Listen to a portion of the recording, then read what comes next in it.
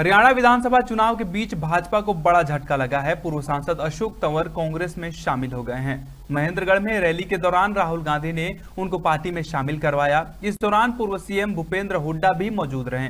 Party join करते वक्त तंवर ने हुड्डा को दूर से ही नमस्ते किया। पाँच साल पहले हुड्डा से मतभेद के बाद तंवर ने कांग्रेस छोड़ी थी।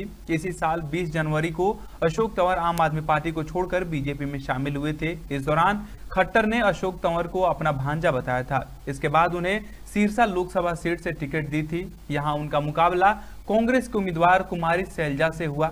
सैलजा ने तंवर को दो लाख अड़सठ हज़ार चार सौ संतानवे वोटों से हराया था।